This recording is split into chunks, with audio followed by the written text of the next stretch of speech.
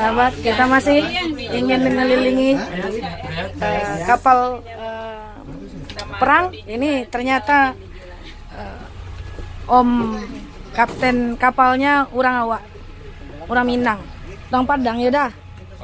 Padang panjang. Ah ya, ah subhanallah di dalamnya.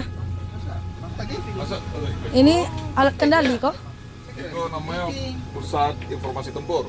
Pusat informasi tempur. Jadi untuk mengendalikan senjata. senjata.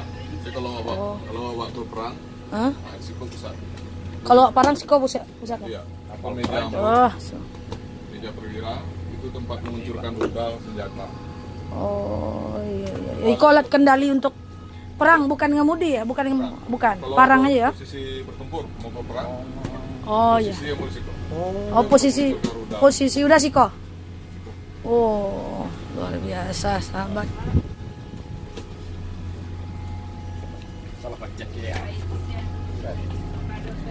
Ya, kita masih keliling dari kapal tempur. Ruang-ruang perwira. Karena perwira sedikit, Oh iya. ruangannya lebih kecil. Long room para VVIP kok ya daya.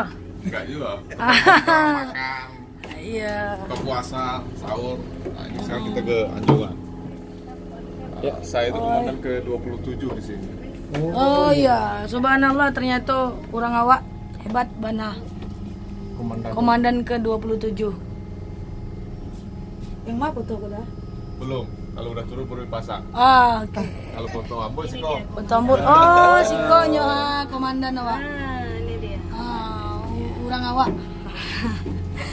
Yuk, kita lanjut kawan-kawan, kita ke atas. Kapal perang perbatasan Indonesia, Malaysia.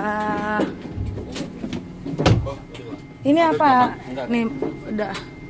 Itu namanya Anjungan. Masuk, Pak. Bridge. Nah. Set. Nah, kalau layar baru mengendalikannya sih kau. Sahabat, ini saya minta pegangin sama Ustaz Usman. Ini untuk berlayar. Iya. Kalau yang tadi untuk Tempur. oh tempur ya. Subhanallah luar biasa teknologi Indonesia. Ini kapal yang eh, alatnya sangat lengkap sekali sahabat. Yuk kita Nah, dari sini lanjut. kelihatan tuh meriam. Oh dari sini kelihatan mer- Yang meriamnya. utamanya. Oh.